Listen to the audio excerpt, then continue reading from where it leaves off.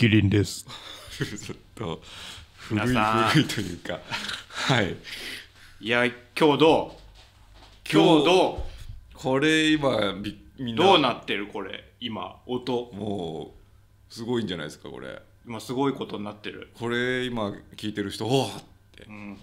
もうちょっと。うん乳首もいじっちゃってるかもしれないですね。なんで乳首オナニーを始めた いいいい声リだから。スパで乳首オナニーを始めないでください。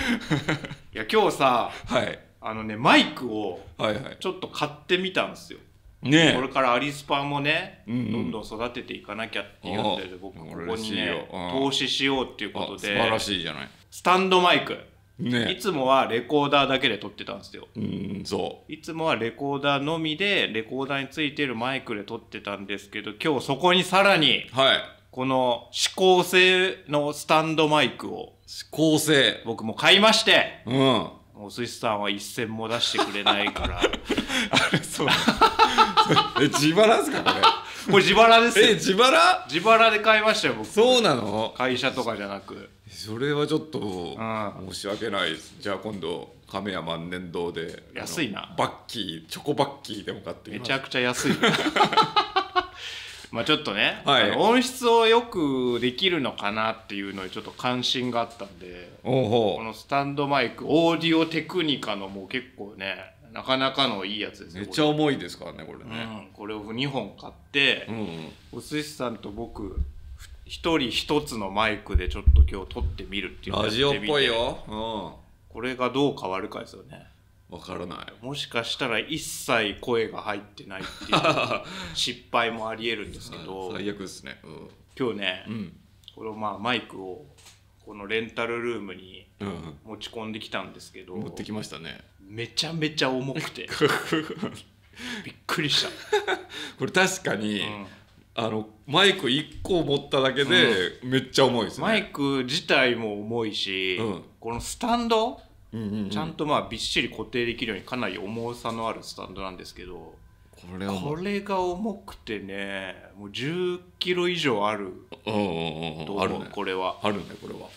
これをいちいち持ってくるのかって思ったら、うんうん。ちょっと今日限り。なんでよ。なんでよ。この音質は今日限りになってしまうかもしれないんですけども。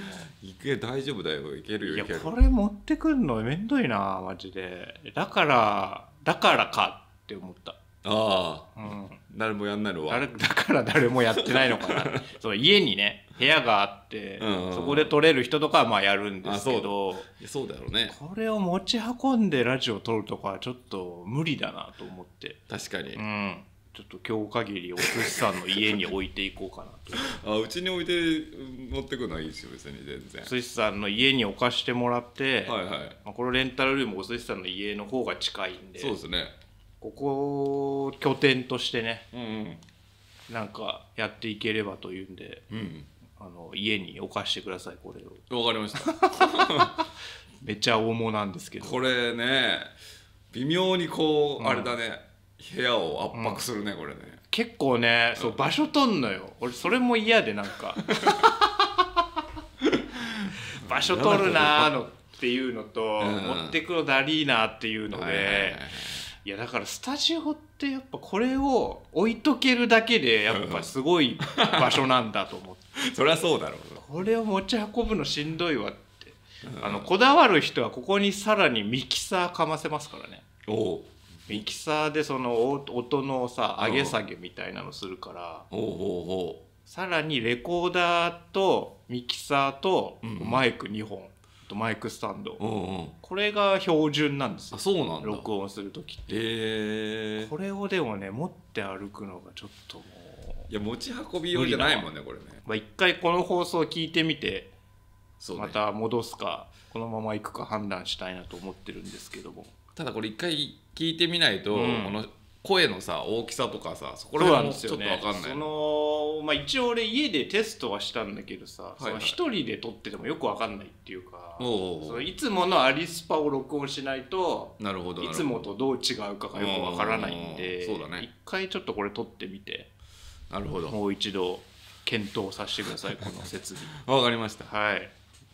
でまあちょっといろいろ話をねしていかなきゃいけないんですけどもまずこれを回収するとこから始めたいんですけど何ですか？あの C 緑か黄色かああ問題。はいはいはい。ああ俺はそれはちょっとこれね気になってましたよ、結構前のアリスパーいる人で、うん。まあ ABC っていうアルファベットがあって、ありますよ。A のイメージカラーは赤ですよねと。うんうんうん。で B のイメージカラーは青ですよねと、うんうんうんうん。で C C よ何色か。はいはいはいっていうところで僕とお寿司さんの意見が全く真っ二つになったんですそう。よだから俺が黄色で、うん原宿さんが緑だと、はい、で僕は完全にもう緑、うん。緑っていうか黄緑。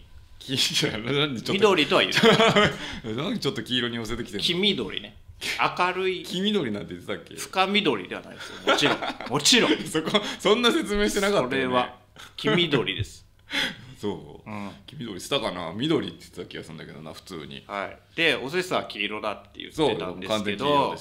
もうな何を言ってるんだと。うんうんうん、緑に決まってるじゃないかっていう。そう。っていう。緑の人の方が絶対多いよって。そう本当そう言った。普通緑だよ そうそうめっちゃめっちゃ言ってたよ。で僕はそこで強硬に緑説を主張して、うんそうそうそでもなんか気になったんで、はいはいはい。結局どっちなんだろうと思って、うんうんうんあのーちょっとアンケートをねそツイッターではやらなかったんですけど、はいはいはい。あのーおもころがやってるほかほかおにぎりクラブっていうコミュニティがあるんで、うはいはいはい。そこの中でちょっとうんうんうん。ABC、C 緑ですか黄色ですかと。うんうん。これを聞いてみました。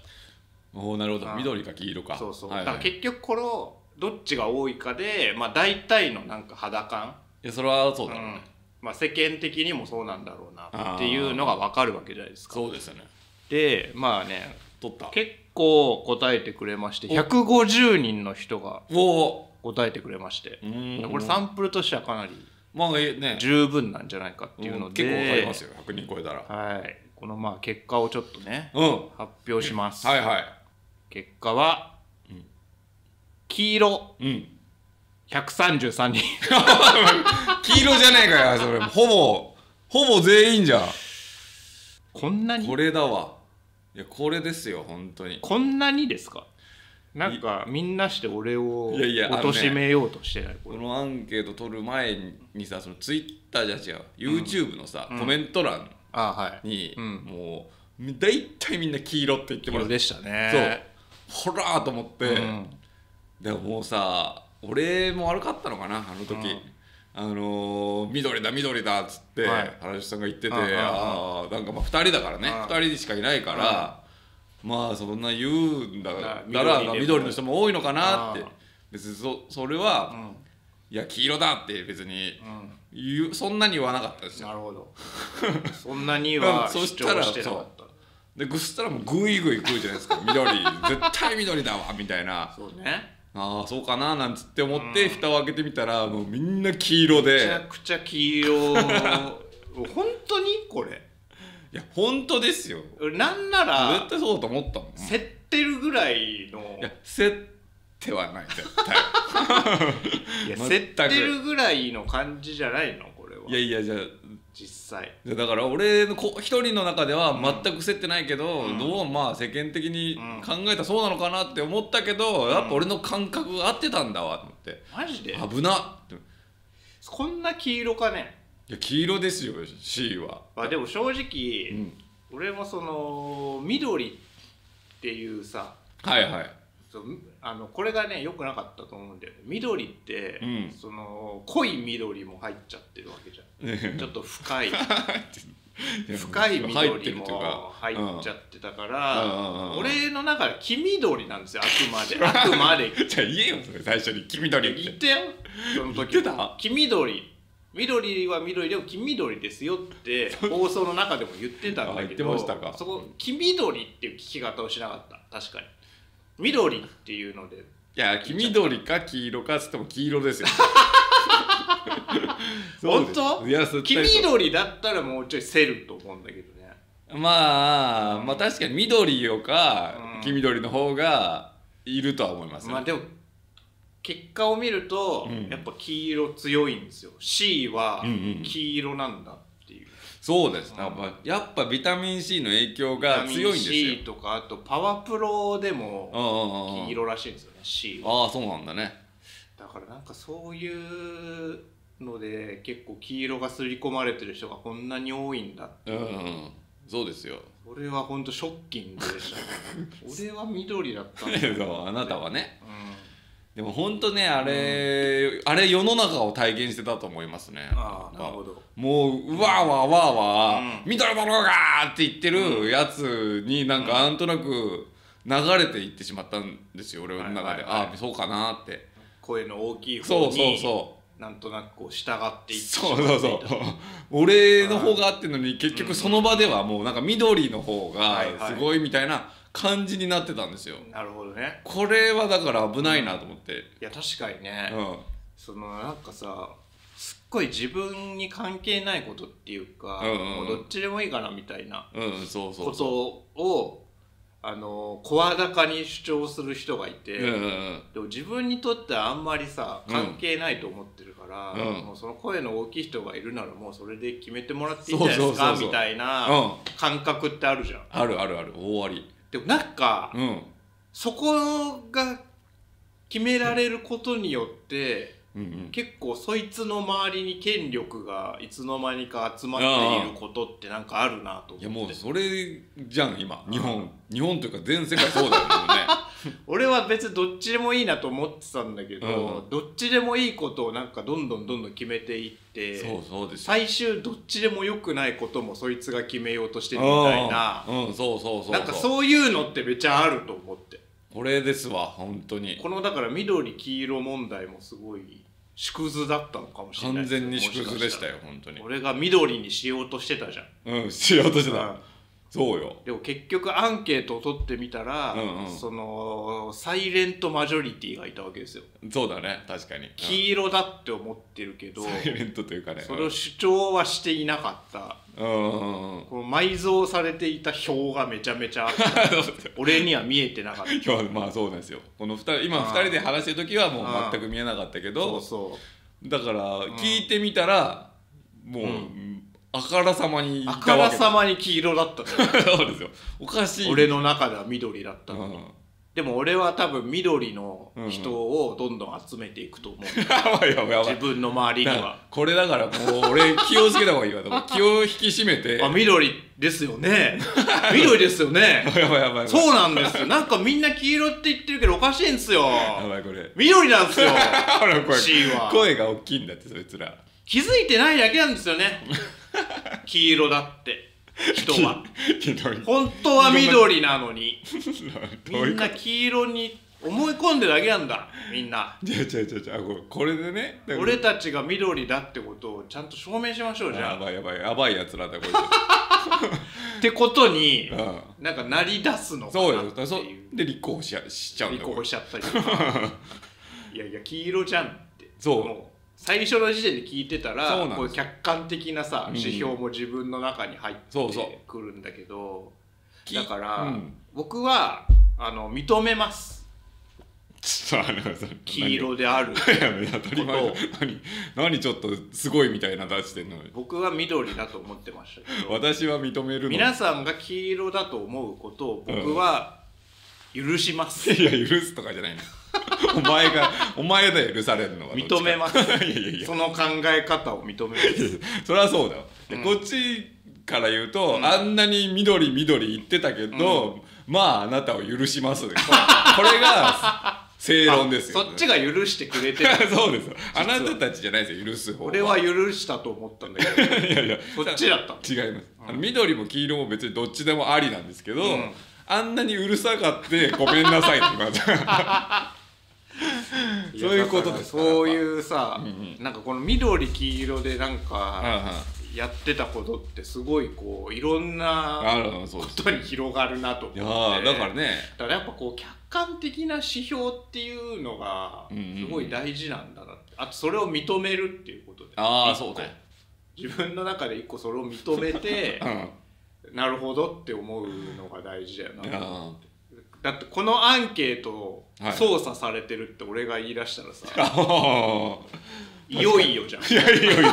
確かにな。そういうこと。誰かがいっぱい押してるみたいうんあなーそっか。黄色は本当は1人しかいないのにうんうんうん。130人分押されてる 確かにそういうこと言いそうだよね。ね。そういうこと言い出したら全てがめちゃくちゃになっていくんですよ。そうだよ。だから客観的指標をどう反映するかっていう問題なんだなと思ったんですよね。ああなるほどね。今その俺さ、うん。そのエコーチェンバーで、うんうん緑は緑の人しか見えてないみたいなタイムラインを作っちゃってるっていう問題もあるじゃないですか。ああなるほど。そうだね。そこにいやいや黄色の方が多いんですよっていう指標も見せていかないといけないんだけど、うんうんうん。でもなんかその見せ方によっては、うん。いやなんかその指標自体がなんかバイアスかかってる。そうそうそう。そうなのよ。になっちゃう。もう何信じていいか分かんないの最近、だからなんかさそのすごいこう人間の無意識の行動みたいなのを、うん。どんどんその政治とかに取り入れていくべきだって言ってるね方もいるんですよ。なるほど。データ民主主義って言うんです言うんですけあどなるほどね人間っていうのはもう自分が心地よくなるように自然に動くわけじゃないですか。うんうんそうですね。で動いた結果、まあ、例えば C が黄色だと思いますか緑だと思いますかって聞かれた時うに、ん。まあ、自然と「いやまあ黄色っすかね」っていう人の方の数の方が多い。うん。もう別に主張とかじゃなく、ね。自然にそう思ってる、うんそれは。うんうん。で自然にそういう方が気持ちいいっていう人の方に、うんこの政治もうんなるほ主ど導していくみたいな感じ。うん。そっちの方が自然に多いわけだから。まあね。自然多数決みたいな。それでも、ん。何が自然なのかまあそれはもちろんね。もちろん何が自然かっていうことはあるんだけどそのやっぱ客観的な指標をどっかで入れないとさ、うんうん。その俺がじゃあ緑だっていう主張をゴリ押しでね、うんうん。うん緑党を作ってさ、うん。緑党を作って緑だと思ってるやつだけ集めてじゃあもうその中で C は緑ってことにしましょうって言ったら、うん。それはもう違うじゃん。そうそうよ。だそうならないためにそのいや不自然に黄色なんですよっていう。自然に黄色なんですよ。自然に黄色に思ってる方の人が多いんですよって指標もその緑党の中でもその指標を持たなきゃいけないっていう。ああなるほど、うん、そうですね。そう。それ確かに。そのあのそれで全てを決めるっていうよりかは、うんうんうん。自然にそういう行動をしてる人が多いっていうことをうん。決める人たちの間でもっとこうっていうのが、なんかそのデータ民主主義的な考え方らしいんですけど。ああそれはいいかもしれないです、うん。確かに。そこを見ないで決めないようにしましょうみたいな。そうだよね、うん。それは確かにね見た方がいいよね。そうなんですよ。ああでもそのでも自然に緑と思うやつもいるわけですよね。そのあそれはもちろんあの認めてください。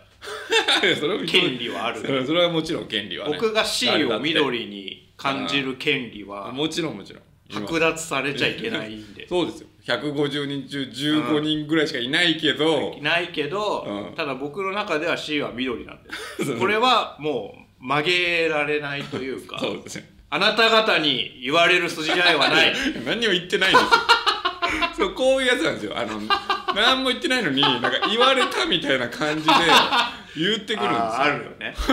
否定してないんだけどなみたいな。すごいさもうプンプンしちゃってるんですよ。そうこういう時っ否て定してなくてこっちはこっちのね意見を言ってるだけなんですけど、うんっていうかこともあるよね。そうなんですよね。うんいやだからすごいよやっぱ人間って。何が？こんなことでやっぱ争えるんだ 確かに。これが これきっかけで徐々に徐々にね仲違いしていくっしてていくってこと可能性ありますか？ありえるよね。でもやっぱこれ絶対認めることが大事だと思います、ん。本当さっきのい同じことですけど、認めるね。相手をうん。とにかく全部認めた上で自分の意見をこう差し込むというかそれの交換じゃないですかね。そうだよね。結局。その中でやっぱ相手をさ、うん。否定しないっていうのがまず第一歩ですよね。いやもう第一歩だと思いますねもう無理黄色なんて。黄色 C が黄色の世界なんてもう僕は生きていけませんみたいなさ。うんそうそうね。そうなっちゃったらもうさ、うんうんうん。物別れにそうなん対話がもう成り立たないんだよな、ただもうこうん難しいのは本当にダメだっていううん問題ジャンルもあるよねまあこの C 黄色か緑かはもうどっちちでも。ょっと待ってどっちだ まあまあこれ緑ってのはもういいか緑本当に俺もうどっちでもいいです。よ 本当だよ正直。本当なんです。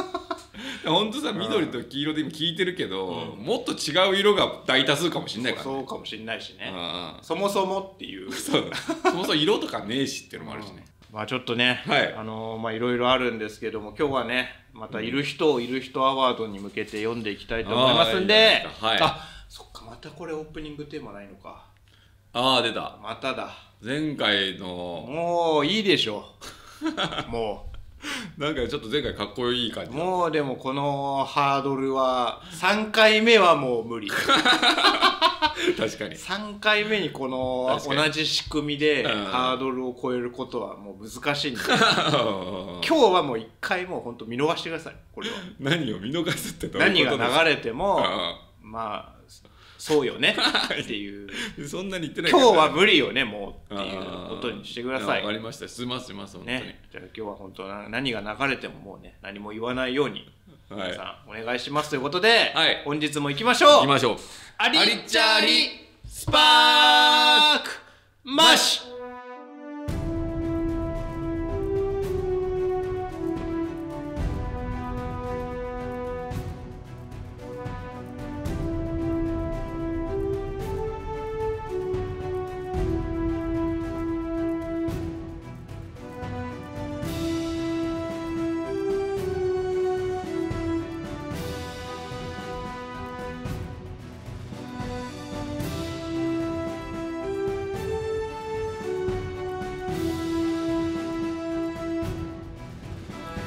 いる人。ね、えーいる人読んでいきたいと思うんですけどちょっとね、はいはい。あのー最近僕とお寿司さんの間でうん。名前理論、名前理論？名前理論？名前話。ああ名字ね。名字話みたいな名前か。ちょっと数回ねやってた時に、はいはい。結構ちょっと気になるメールが来たんでこちら紹介させてもらっていいでしょうか、うんうんうん。えーキャッペンキャップさん、おいいね。えー工藤って名前は全員先輩など、うんうん。いる人名字編のお話をされていましたが、名字変なの、えー僕はこれまで体験したメンズエステ嬢1位と2位のうんうん。どちらもがうん。栗原さんという名前でした。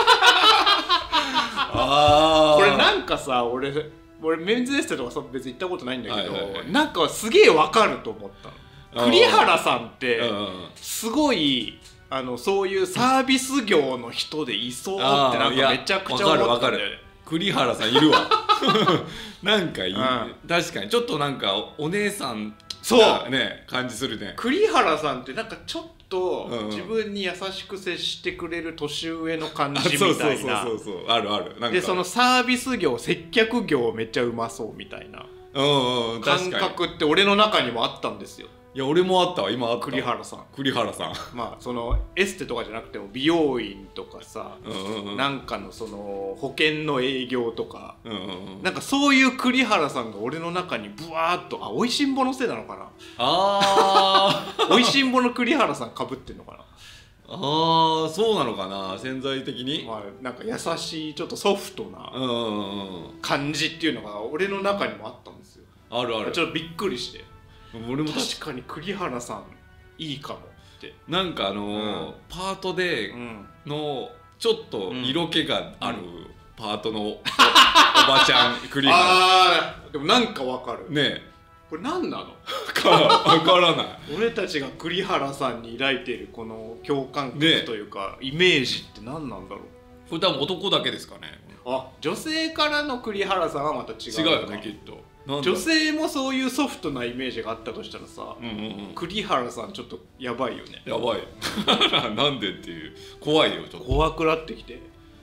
俺でもね栗原さんって、うん。中学の時に同級生いたんですけど、はいはいはい。女の子で、ああのめっちゃ怖かったですね。あじゃあ違うじゃん。違うんだけどうん。でもイメージは確かに俺栗原って言われたらなんかそういうおいいイメージある。なんかまあ五感とかもあるんだろうけど確かにあんまり栗原に悪いイメージ抱いてる人っていないかもってうんうんうん。なんか思ってさ。うんうん。これだから俺たちが思ってる以上にこのいる人名前編ってあるのかも確かに。うん、ちょっと面白いかもねこれね、でこのキャッペンキャップさんが言うには、はい。まあ、この栗原っていうのはもちろんその本名じゃない源氏名なわけじゃないですか。ああそうね。メで源氏名っていうのは結構意図的にそういうサービス業みたいなのを確かにまあ、想定してつけてるわけだから、うんうん。なんかそこに使われてる名前っていうのはそういう、まあ、ソフトな接客が良さそうとか人当たり良さそうみたいなイメージが結晶化してるのではないなるほど。かっていうのを言ってらして確かに。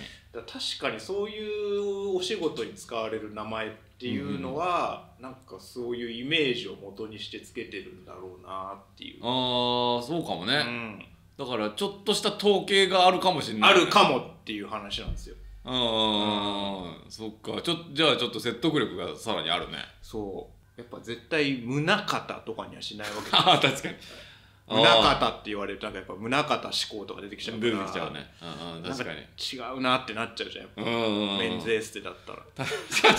あでもなねメンズエステで胸肩出てきたら 相当ななんかテクニックありそうな宗方ってやっぱそういう逆をやってる店もあんのかなもしかしたら、ああるかもね。うん、えー、っていう名前をつけてるような興味深いなと思ったんですけど、うんうん。まあ、このもしこの名字編もねもし持ってる方はぜひぜひどんどん送っていただきたいと思ってるんですが、はい。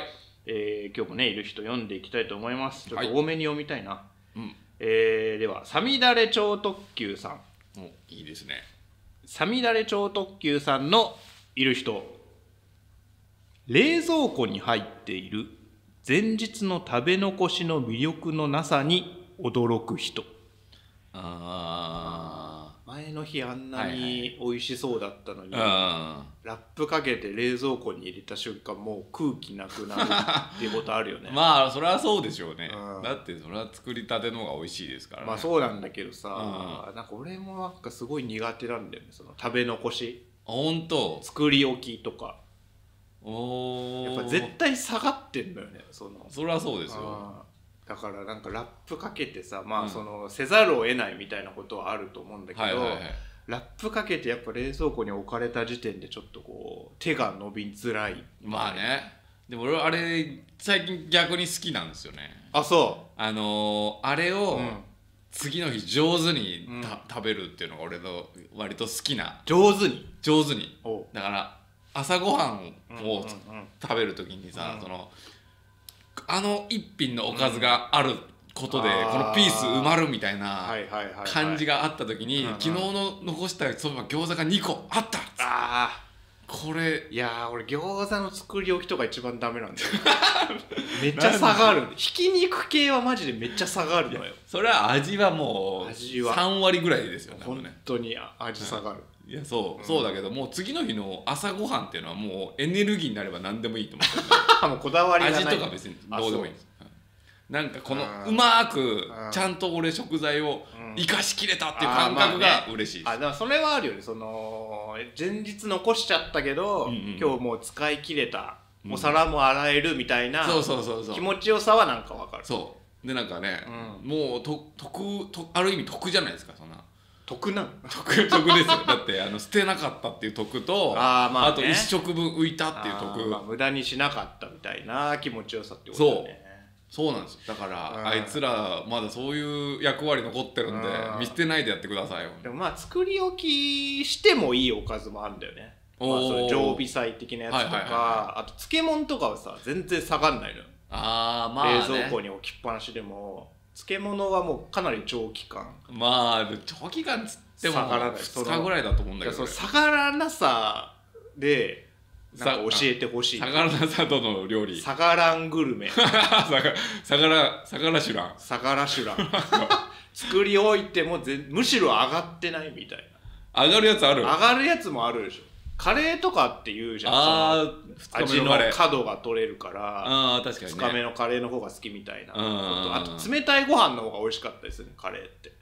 ええー、それはないわ。あそう？うん。冷やご飯の方がなんか味がよくわかるみたいな料を理ってあるよ。温めないでかけるの？温めないでもう冷やご飯、冷や飯で食う方が上がるみたいなマジ？おかずもありますからそれを、それは。うんえー、じゃあ続いてはい。クリームさん。クリームさんのいる人。ゲームでセーブを2回する人。あーわかるな。どうえ？セーブさ、うんそのセーブ俺今セーブしたんだっけっていうことすら忘れる時があるああまああるねそれはね。だからその時にやっぱそのリスクを犯さないで、うんうん。きちんと2回セーブする。きちんと。これやっぱ意外と大事だなってにセーブってさ、うん。何？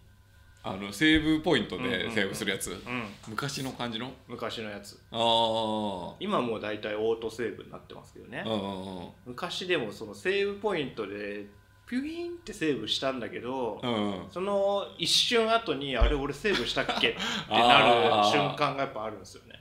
うんなんか今すごいふっと思い出したんだけどさは記憶みたいな話になっちゃうんだけい、ど、うんうんうん、なんかさ親の前でゲームするのがすごい苦手で俺。ああわかるよ。なんとなく。なんか怒られんじゃねえかとかゲームやってまたみたいなことをなんか一個言われんじゃねえかっていうのがすごい嫌で。なんかそのでも親がさ急に帰ってきた時にセーブしないあのセーブする必要があるゲームだとはいはいはいはい。急にやめられないの。そうだね。うん霧のいいところまで行かなきゃいけないわかるわかる、うん、でそこでボスの戦闘中とかでいやさまずいじゃん。ここでバチンとはいけないなみたいない感じの時にうん。親の前でうん。ちょっとこう一段落するまでゲームをやる時のうん。感じ。ああややだわそれ。はなんかもう旗から見てたらやだな。集中できてないなんかおざなりにコマンドとかもすげえおざなりになって いいだろ別にコマンド。本当はじっくり一旦一旦さうんここでちょっと補助魔法かけて次でもうなんかあれ必殺技たまるからそれ打ってみたいな。ああなるほどね。じっくりこう進めたいの親帰ってくるともうあもういいやみたいな。そっかそっか。全部攻撃しようみたいな。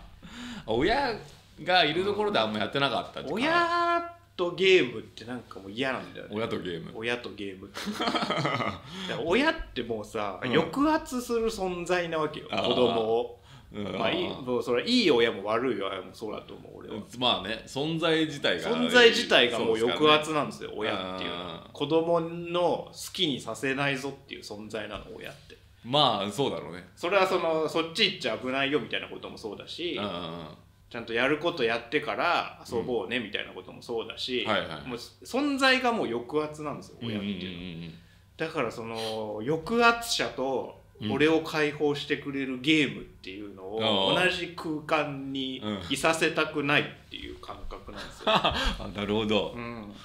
そうか。俺は割と一緒にい一緒にっていうかうん親がいるところにしかテレビがなくてうん。親は常にいたからああ親の前でゲームやらざるを得なかった。おうじゃあだから結構どうどうだっいや全然気にししてなかった。もう見てなかったしねこっちのこととか。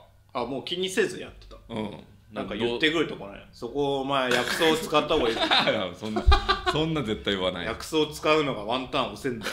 最悪。最悪そういう親そんな父親いやでもそのうん父親はゲーム好きだったから日曜日とかあそうやね。やってたんだけど。ゲーム好きの親はやっぱいいよね。うん。ゲームをやっぱ抑圧しない。ゲームをさやらない親の前でゲームをやるのが嫌なのよ。ああわ分かるけどでもゲームやらない親はうん。もう関心がないかあら、逆に？もう他のことやってるからー。何にも見てないんですよこっちのこと。なるほど。だからもうずっとやってしかもうん。分かんないから、今今ダメやめらんないとこなんだよっつったら通るから道理が、なるほどね。うん、だからしめしめと思ってややったりしたけど。なんか俺嫌だったんだよそこからやっぱ抜けれなかった俺。親とゲームを同じ箱に入れる ことができなかったから。ああそう、うん。いつの何年前の何の話？話ちょ今日どんどん行きたいんでね。行きますわ、はい。えー、オカキングさん。オカキングさん。えー、オカキングさんのいる人。ノートでもプリントでも A4 サイズが一般的であるものの個人的には B5 くらいのちょうど良さがしっくりくると胸の内に秘めている人。いやいるだろうよそれは。これ俺実際 B5 じゃないって思ってんだけど。A4 でかすぎない？わかる。うん、うんでかすぎる俺もう A4 ノート買うたびにすげえストレスなのよ。でかいから。だけど、でかいんだけどやっぱ書くのはやっぱでかい方がいいです。あまあそれもあると思うよ、うん。大きくね書いた方がそうそうそう。あ見やすいって見やすいいうのは絶対あるんだけどさ、うん。その空白が重いの。空白が重いの、A4 ってもう疲れんのよ本当に。全然わかんないそれは B5 って疲れないね。いや英語疲れるよ。その B5 は可愛いよ。その前のさじ加減じゃないか全部。B5 もちょっと書いただけで埋まっちゃうからね。だから嫌なんだよなんかもう全然書けないじゃんってなそれが自分をこそうそう。縛り付けてるみたいなそう。B5 のサイズが自そうですよ。分を使い切れてないみたいな俺らは俺らはね。感覚もあるの。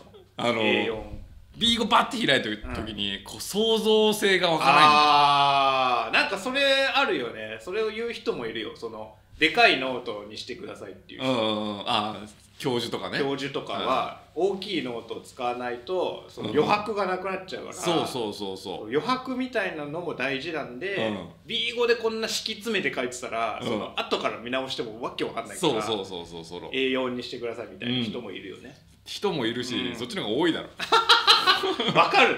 それもでもわかる。わわかるんだけど余白が怖いこう疲れ疲れがわかんない。A4 をこう開いて、うん。こううわっていうしろっていう時の 疲れ。それがいいんだよ。B5 は可愛いんだよねやっぱり。B5 なんでそんなポシェットとかにもすっごい優遇するよスッて ポシェットに入るよ。スッて入るしさ。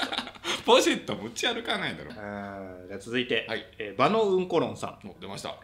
バノうんころんさんのいる人。鍋キューブが視界に入ってもそれを鍋のスープの選択肢として認識していない人。あめっちゃわかる。わかるわかる。鍋キューブって俺もう数に数えてないっすね。なんだ鍋つゆはあのもうさ液体のつゆうんしかうん。味として認識してない、鍋キューブ見てもさ味が湧いてこなくない？ああわかん湧いてこないけど、う液体も湧いてこないけど、ね、いやでも液体であごだしつゆとか書いてあると、うんおっていうもうまあわかるじゃん。うんそうか。キムチ鍋とか書いてあるとあキムチ鍋だ。とかって、うんうんまあねわなんか反応しやすいんだけど確かに。鍋キューブあってもなんかうん。どう反応していいのかよくわかんないんだよ確かにな。う鍋キューブを受け入れるちょっと体制になってないねまだ。まあまあうまいんだけど、うん。うんなんかこうね俺なんかこう人の中の鍋っていうイメージとなんかこう噛み合ってない確かに。あのキューブって、鍋 鍋の、うん。鍋の良さを、うん。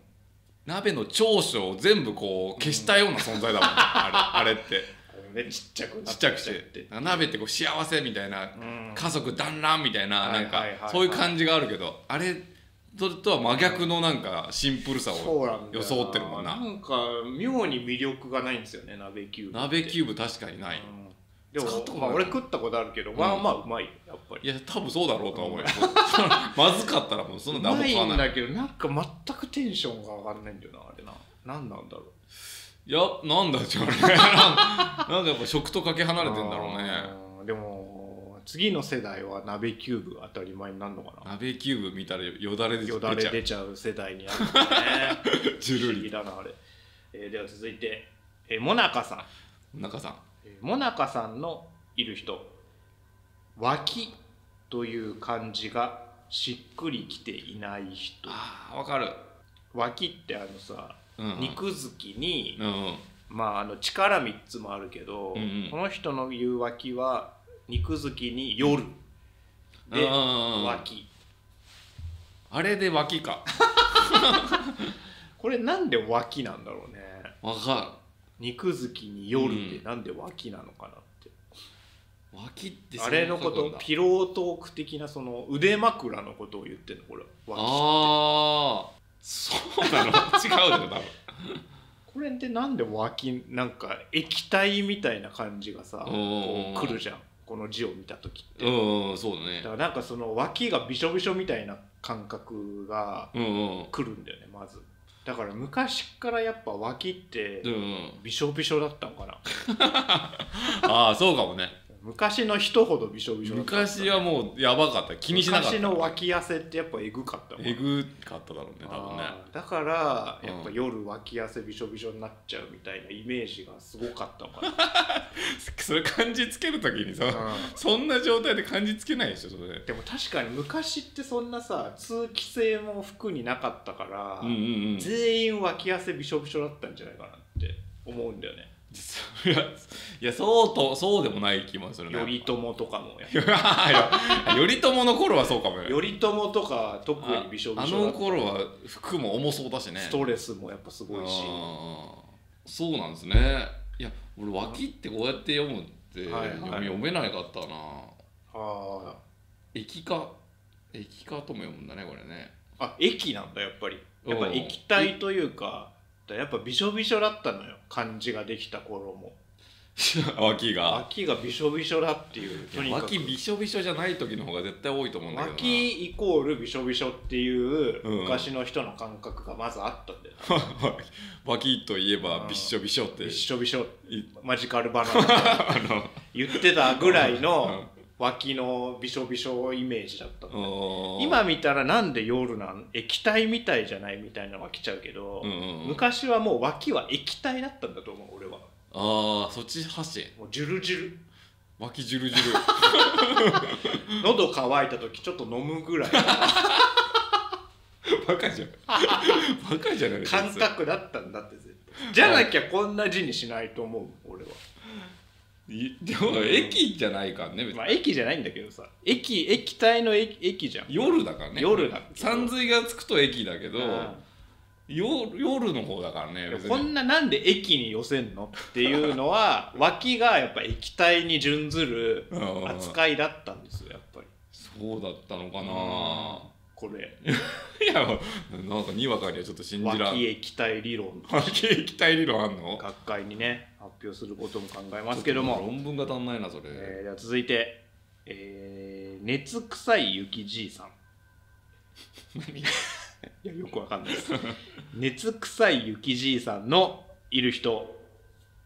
もらったと言い放ち背後から攻撃するも何ももらえない。これはもらえることの方がないですね。ないですよね漫画でもらったっていうやつのもらえなさってさすごいもん。いやすごい。もらえないふりだろ？いやそうそうだよ。もらったっていうやつが本当にもらった時って存在しないんじゃない？ああ春ないかも。うん、もしかしたらあのに日本統一ではあるかもしれないな。日本統一って何？あのー V シネの。ああヤクザ映画ヤクザ映画の。ああれであのーいそういうさ、うんうん。フラグみたいのを一切無視してやったーあーりそうなんだ。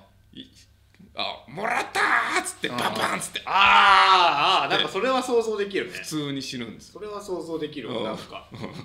実写と漫画ではだいぶ違うのかもねもらったの扱いは。ああそっか漫画のもらったはもうもらえないのフリーでしかないじゃんやっぱり。確かにね、うん。あの漫画のもらったは高度な戦いの時だからね大体、うんうんうんねぶ武術家のもらったは絶対もらえないよね。うんもらえないんだよね。うんうんうん。これでもらったシーンがあったら教えてほしいね。ああもらえたやつ。もらったっつってもらったら急にドキドキしちゃう多分ね。もらもらえた？もらうとは。これどうすりゃいいんだよもらうとは思いませんでしたみたいな。でも最初にもらったって言ったやつは気になるな。最初にもらったのやつって誰だったの？あーなんかねそういう系いろいろあるよね。漫画ってなんか自然にそういう文法みたいなのができていきますよね、うん。なんかこねれやったの誰が始め始めなのこかみたいな。調べようがないんだよなこれって。もう本あ当ー。これこそ本当自然。データで何かが動いてるみたいな感じ。でもこれ当時の漫画家はみんな覚えてるの？ああもらったが出た時。出た時。ああこのセリフ面白いってなるから。ーこれもらえないの振りなんだ そうやって認識したかは分かんないですけどね。なこれすごいなみたいな。そういう発明が生まれた瞬間って多分あるよね漫画界って、ね、そうなんか昔の漫画家の人だからさうんすごいそういうの詳しいですね。えーでは続いて、えー、山さんうん山さん。えー山さんのいる人受付に風の大地しか置いていない歯医者。わかる。わかるわ。ある。風の大地置くよな。僕これなんでさそんなゴルフ漫画置いちゃうのってうん思っちゃうのよね。あれ本当病院に多いんですよね。それ医者のさ、うん。主観の話じゃん。そうそうそうそう。俺たちゴルフなんか別にそんなやんないよっていうさあ分かる。だから あそこに置いてある本って、うん。医者が家で読んでて、いらなくなったやつででその集大成が多分あれなんですよ。風の大地。風の大地。ゴルフやるし買おうかなっつって。うん。読んであまあまあ面白い。んだけどうん。一回読めばいいなっていう気分であそこに行くんですよ。読んだことない風の大地ゴルフ漫画をそもそも読もうっていう。さそう確かに。まあお寿司さんはゴルフやってるからあれですけど。あの風の大地を読んだことないあくて病院でたまになんか変なところの勘だけちょっと読んだりするぐらい。割とまっとうなやつですよね。まっとうなリアルなうん。あれですもんね。そうそうそう。ななんかちょっとやっぱ俺の視点だとやっぱその甘えてないかっていうどういうことで医すか？者医者と歯医者は。医者と歯医者。そう風の大地を待合室に置くってだいぶよっていう あれも だいぶそっちの感覚を押し付けてきてるけど大丈夫そうだね。なるんですよね。そうですしかも全然ね嬉しくない押し付けだからねそうそうそうそう。そんなのゴルフやってなきゃ分かんないじゃんみたいなさ。あれなんかあれかもね建築的にさ、うん。その医療系の建築作るとマストでついてくるのかもしれないね。あ風の大地が。風の大地が。キャンペーン。勘弁ね。キャンペーンで。開業医には絶対風の大地を全巻置くってい う。そういう風習があるかもしれないね、そうじゃなきゃやっぱさうん。もう今もう置けないんじゃん逆に。今な今風の大地置いてたらやっぱまずいもん。まずいよ これはまずい確かに。客いなくなる。ここ風の大地しかねえじゃないかよああすごい。その風の大地全部買い取ってなんかビジネス 今。でもなんか今となってはちょっと読みたいかもな。風の大地。確かに。でちゃんと読んでみこの間なんかそう作者の方がねうん。亡くなっちゃったりとかして。そうなんだ、うん知らなかった。ちょっとでもどういう漫画なんだろうっていうのがあるんで風の大地。面白いはずだよ。あじゃあ読もうよ。俺とお寿司さんで風の大地。風の大地を。読んでもいいけどさ、うん。あのここで喋っても誰も 面白いと思わないと思うんだけど。まず一巻。あ一巻ね。一巻読んでどういう話か。ああそれを説明する。説明。あそれいいかも。風の大地をだからこのラジオ聞いてたら風の大地を読まなくてうん。もなんかわかるああとりあえず一巻読めばね。とりあえず一巻読んで。なんとなく情報がわかるからでも結構なんかねギャラクシーさんとか結構そのうん。読んでるんですよ。あイニシャル D とかさあなんか内容はなんとなく知ってるけどうん。どういう話か全く理解してないじゃないですか。あ俺も知らない。でもなんかイニシャル D ってめちゃめちゃおもろいらしくイてニシャル D は面白い。じゃんだってそもそもなんかあいつが、うん。あのイニシャル D の主人公の豆腐屋のやつがはいのってうん。下り坂だけなんだって知ってた。え全然知らない。あまあ車の機能が。車の、あのーあれが弱いんですよ。やっぱ豆腐屋の車だから。ああそっかそっか。ら上り坂では全然なのに、下り坂ダウンヒルは、そのブレーキングテクニックとかがやばすぎて、下り坂は激速いみたいな。面白そう。読みたい。それ聞くとなんかえすごくない？って面白ちそう。ょっと面白そうってさ思うじゃん。だもう思から読んでない漫画でも結構そういうのある。うそれいい風の大地ももしかしたら必殺ショットとかが。こあこれよくないですか、一貫紹介。一貫紹介なんかもう多分よ一生手出さないかもしれないやつの一そうそうそうそう。一貫だけはちょっと。えそんな設定あったん？みたいな。あこれー結構あると思うんですよねあ確かにそれいいね。俺うん。ただあれ一巻から様変わりする漫画あるからね。あまあある。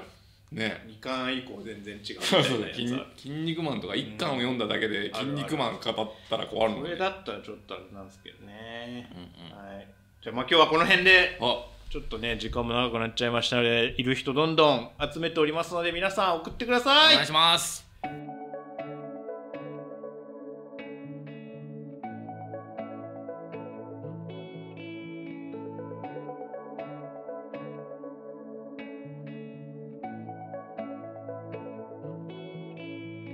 さあねどうだったんでしょうねこの音どうでしょうか？今日の音はどうだったのか？今だねこれを撮ってる時点で聞き直してないんでわかんないんですけどまあすごい音質良くなってたらこれねうん。お耳のお供として お耳の音がアリスパの格も上がっていくんで。いやそうですよ。やっうん、怖いのはさ、ぱうんこのマイクを立ててレコーダーに今つないでるんですけど、はいはい。どこからもその電源を取ってなくて、レコーダーに単三電池が2つ入ってる。2つなのこれ。4つならまだしも2つ？その電気で今このマイク回してんのって思ったら、うんうん。なんかすげえ怖いんですよねこれ。ミニ四駆と一緒じゃん この状態。だからなんか一瞬で電池切れたりすんのかなとか、ねこれどうなってるんだろうって。えこれ外部から取れないんだこの。外部電源多分ミキサーとかをかましたら外部電源になるのかな。ちょっとこの辺のマジで音響とかが分かんなすぎてさ、うんうんうん。まあどこまで続くかなんですけども。ねねまあ、ちょっと音質良くなってたらよかったなということで、はい皆さん引き続き聞いてください。お願いします。ありがとうございました。ありがとうございました。さよなら。さよなら